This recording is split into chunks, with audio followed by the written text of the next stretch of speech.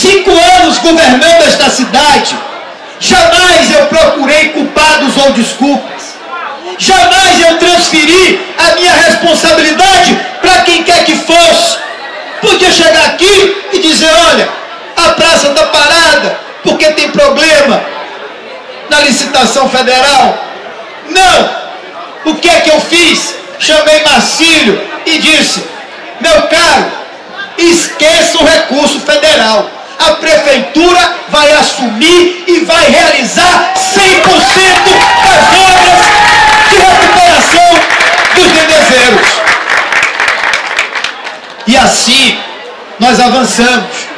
E eu queria agradecer a ele e ao secretário Vigílio Dal, secretário de manutenção, pelo capricho, pelo esmero, pela dedicação. Vocês puderam ver cada detalhe dessa praça. A praça que tem equipamentos de ginástica, a praça que tem os equipamentos infantis, a praça com duas quadras poliesportivas, a praça com pergolado, com a área do lazer para os mais idosos, a praça com a iluminação toda em LED.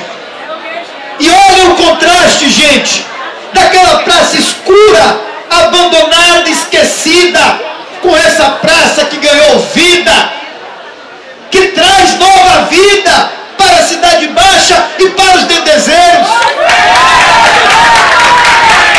Primeira vez que nós estamos inaugurando mais uma inovação da Besal. Vocês viram ali, eles aproveitaram o nosso material para fazer a mesa de ping-pong, a mesa de futebol, de mesa, né, que chama assim,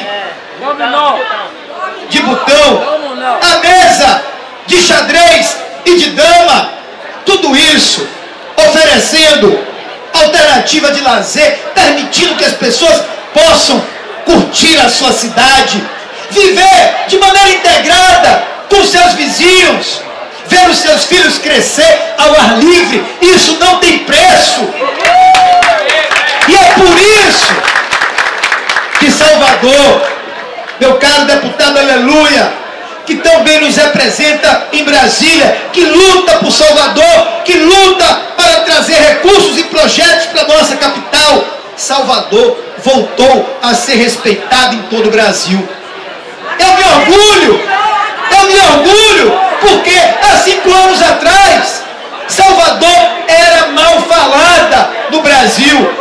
Porque no fundo, o morador de Salvador não conseguia mais falar bem de E aí, ao recuperar a autoestima, ao devolver o orgulho ao soteropolitano, primeiro a gente voltou a falar bem de Salvador e agora isso repercute e contagia em todo o Brasil.